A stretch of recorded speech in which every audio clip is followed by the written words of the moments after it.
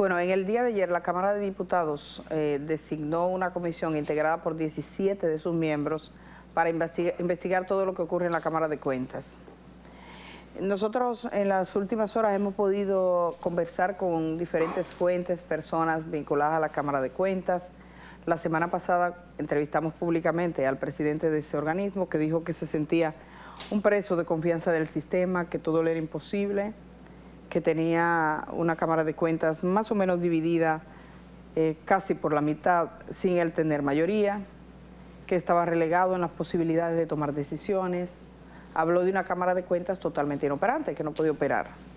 La Cámara de Cuentas tiene la responsabilidad de realizar auditorías, de control, informes especiales de procesos públicos, de compras, de de todas las actividades en las dependencias públicas. Es un órgano de control de forma constitucional.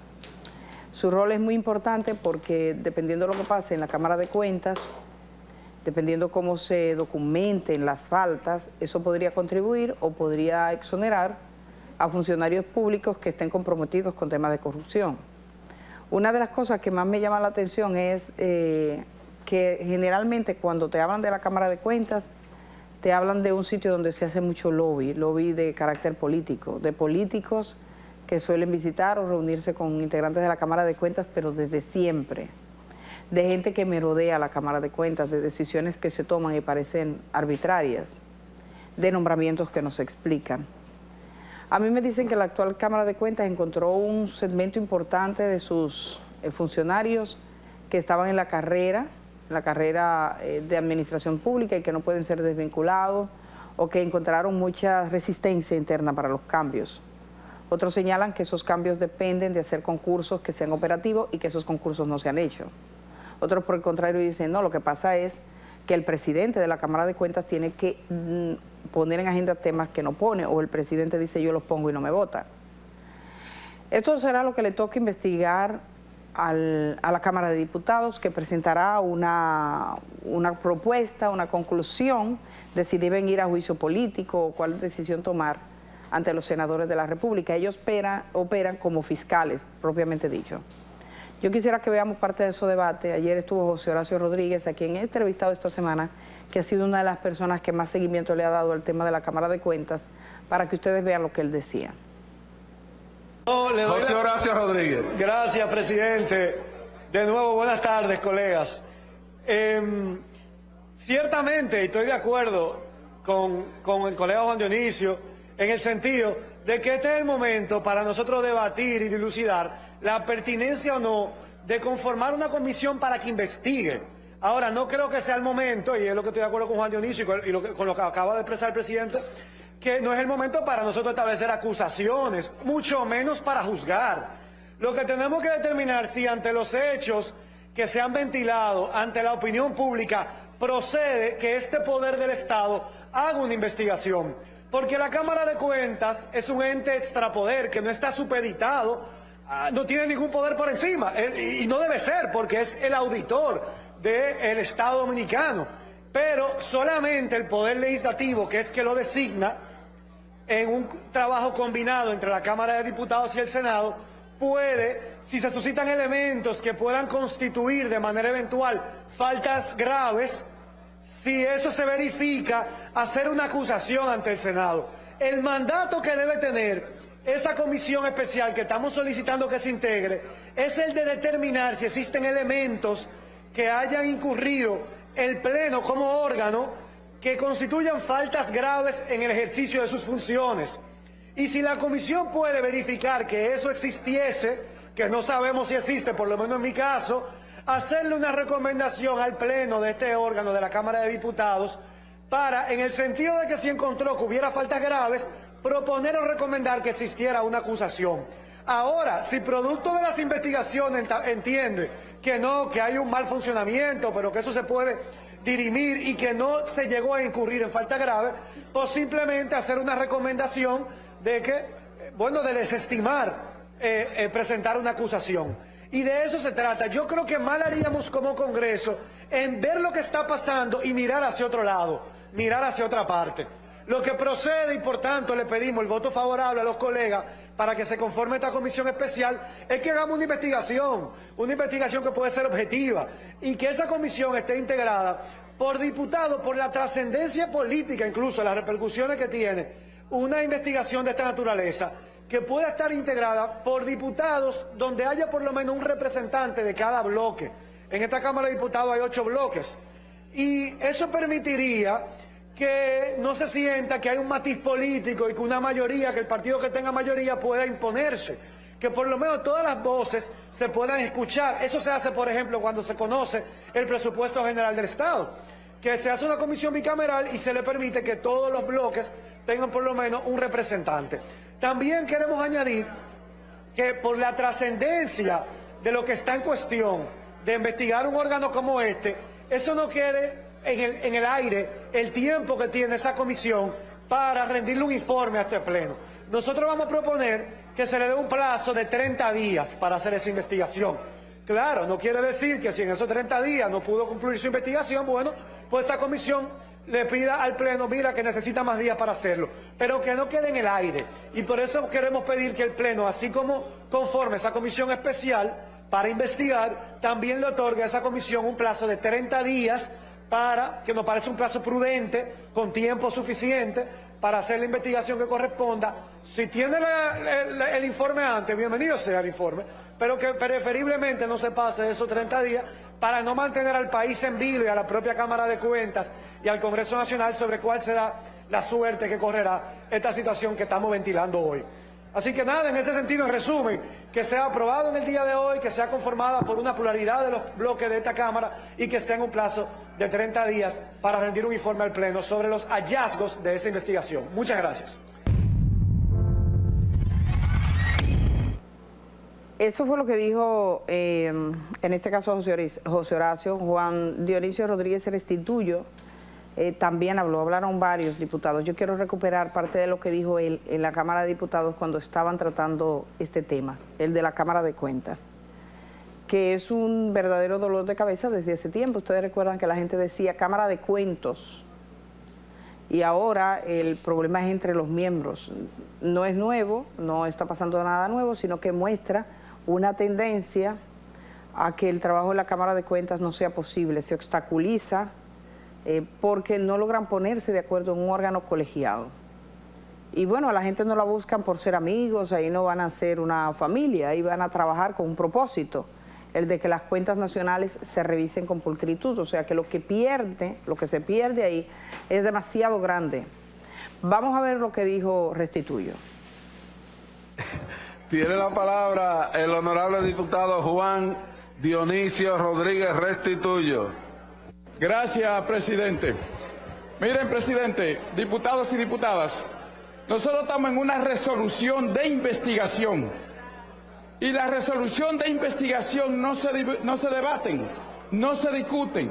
No podemos hacer juicio previo de lo que vamos a investigar porque no descalificamos. Nosotros ahora es que iniciamos el proceso para investigar y determinar si esos ciudadanos que están en la Cámara de Cuentas han cometido algún delito.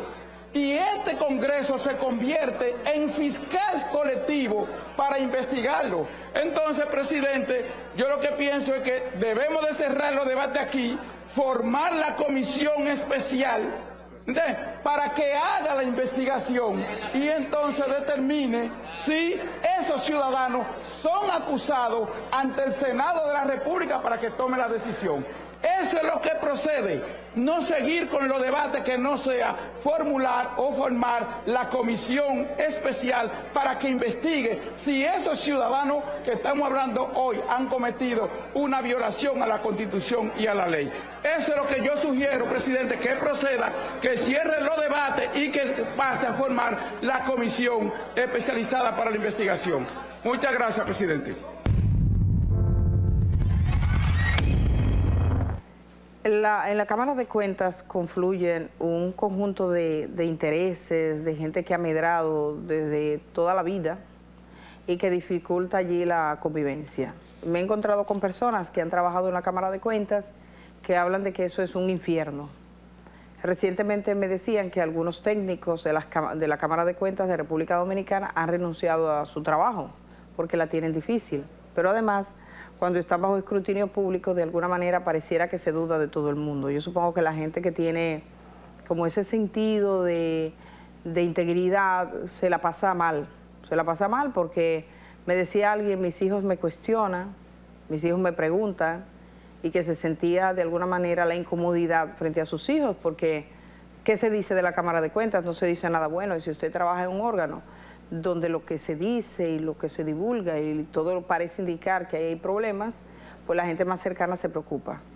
De modo que eso tiene ese costo para la gente, sobre todo, que trabaja como apegada a las normas, que no está haciendo nada, pero además que casi todo el mundo está bajo sospecha. La Cámara de Cuentas eh, tiene una investigación abierta que es de sus anteriores titulares, la denominada Operación Caracol, que llevó al PETCA a hacer un allanamiento dentro de ese organismo. Esa es una situación que no se ha definido. Yo creo que la no definición de eso, claro que la justicia tiene sus tiempos, que las investigaciones tienen sus tiempos y sus plazos, que no se puede precipitar por otra cosa que no sea el proceso mismo, que el PETCA tiene muchos trabajos, hemos visto los distintos expedientes que tiene, pero esa tardanza de alguna manera pienso que ha contribuido a que se levanten estas salas de problemas dentro de la estructura de la Cámara de Cuentas. O sea, por qué razón nadie sabe, pero eso se ha tardado muchos meses. Y entonces muchos asuntos pendientes quedaron rezagados. Yo recuerdo que respecto a la anterior Cámara de Cuentas, junto con Uchi Lora pudimos documentar, y aquí en este programa lo tratamos, y ahí están los títulos, diversas situaciones que ocurrieron.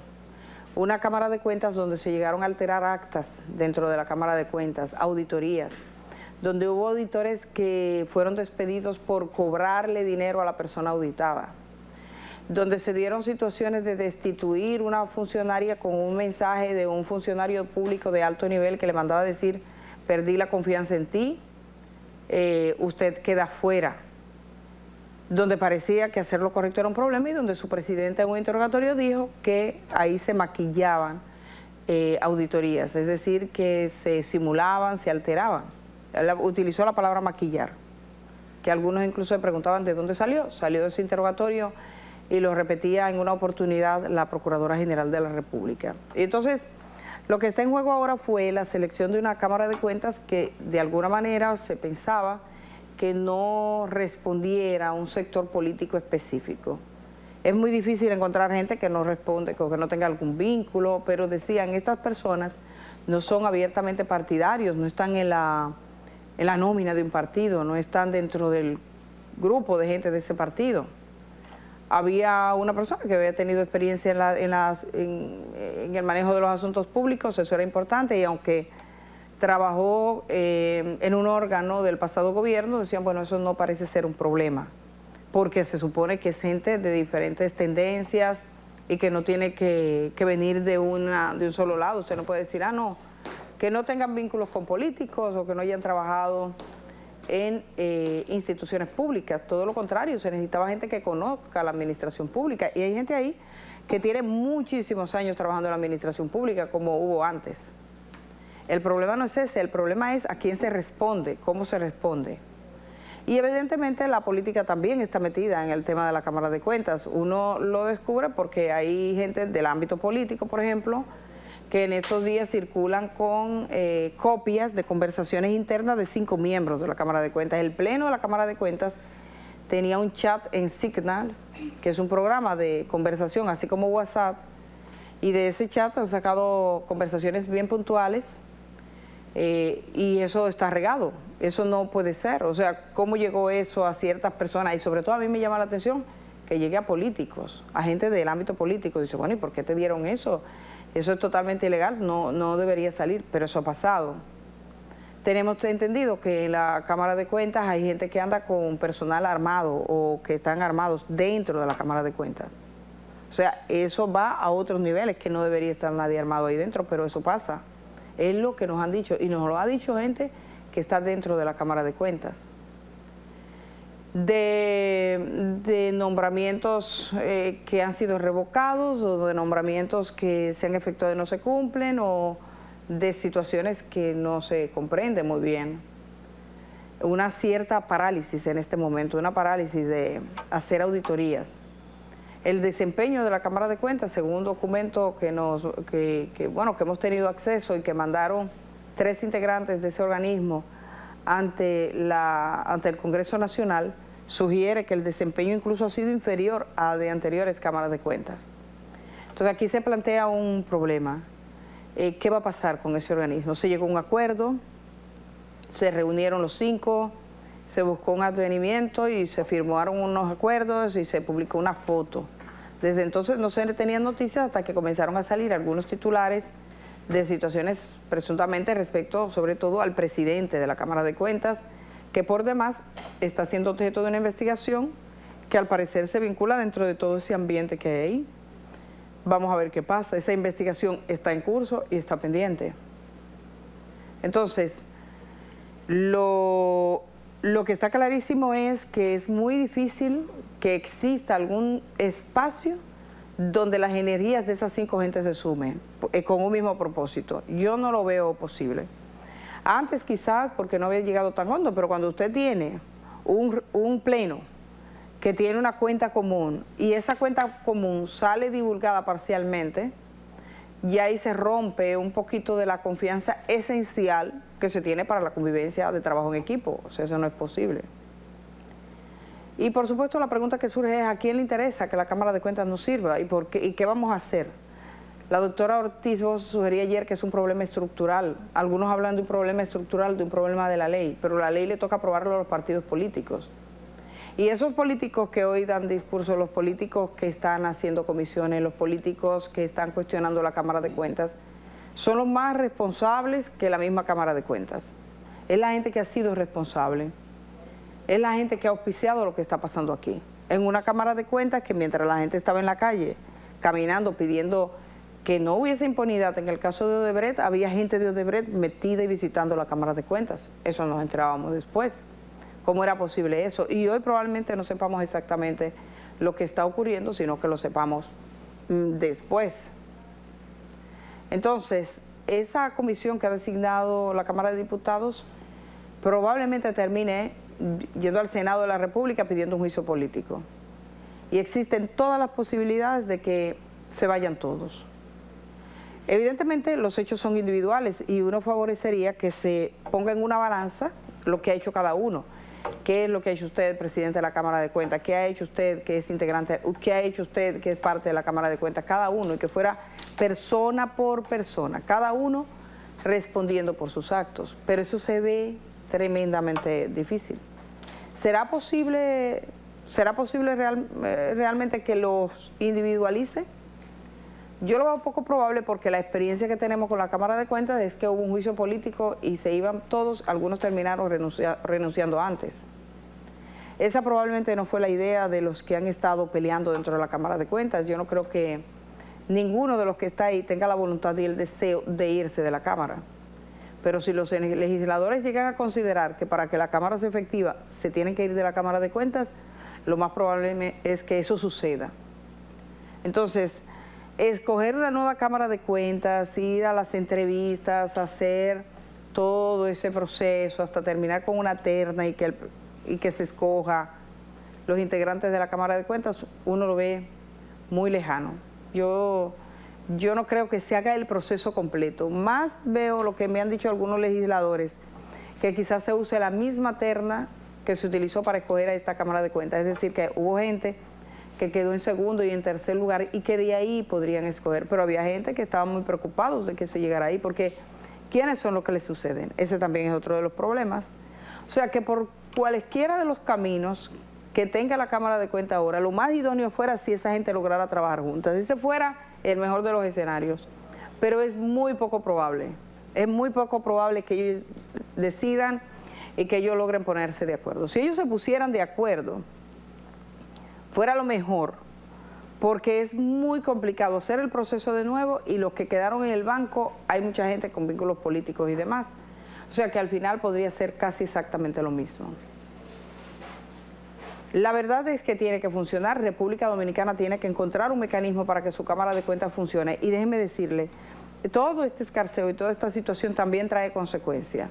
Hay préstamos internacionales, organismos internacionales, empresas que creen en órganos nacionales y cuando ven que están siendo objeto de ese tipo de, de debate público simplemente se alejan.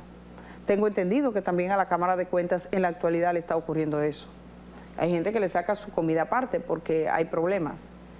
El hecho de que todo lo que pase en la Cámara de Cuentas se filtre en las conversaciones que ellos dan, limita mucho también las reuniones que puedan lograr con, por ejemplo, los presidentes de las cámaras legislativas. Usted tiene al, al presidente del Senado, al presidente de la Cámara de Diputados. Ellos tuvieron una reunión con integrantes de la Cámara de Cuentas y después qué pasó allí se dijo a todo el mundo. Y a mí, según lo que tengo entendido, ese es uno de los principales escollos para que los titulares eh, legislativos tanto de la Cámara de Diputados como del Senado decidan sentarse en una misma mesa. También es poco probable.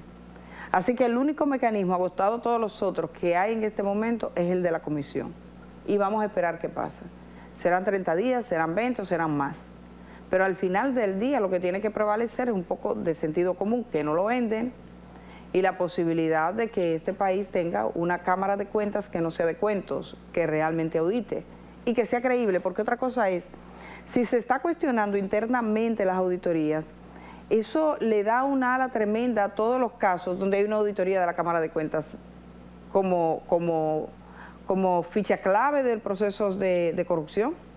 Porque si van en un caso por corrupción y el abogado defensor comienza a hablar de esas auditorías, ya no es solo que lo diga el abogado defensor que tiene con su cliente una relación clientelar, es que lo mismo que han auspiciado hacerla, están diciendo que la auditoría de ahí no sirve. O sea que por donde quiera que usted lo vea, este es uno de los casos más delicados que tiene la República Dominicana en este momento. Esperaremos a ver qué pasa. Vamos a ir a la pausa, señor director, y regresamos de una vez.